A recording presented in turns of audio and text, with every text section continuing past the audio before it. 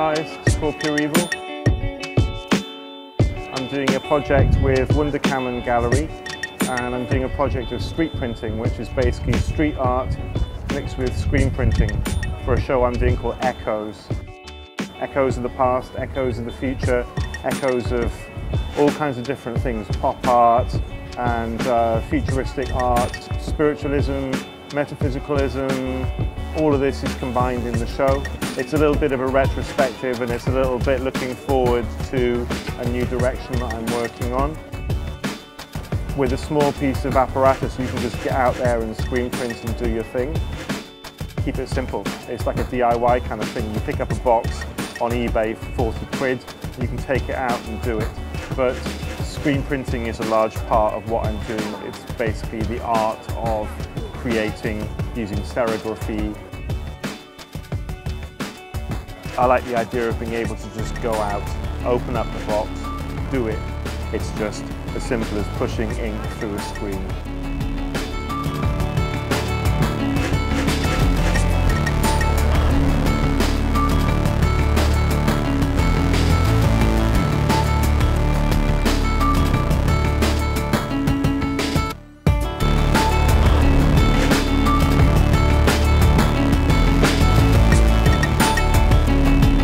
In 1969, my father won a prize to study in Rome. He came to the British school. I came with him and my mum. We drove down from Wales.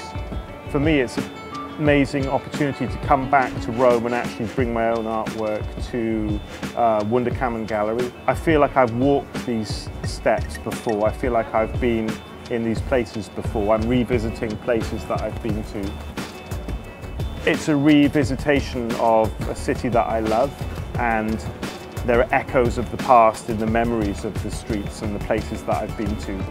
When you do visit Rome, you see all these layers and layers and layers and layers of history. You walk into a square and there's something else. There's like some a piece of sculpture that's been you know, dead and gone for 2,000 years. And that's the kind of, those are the kind of layers that I find interesting. And also the layers of modernity, of posters and graphic design.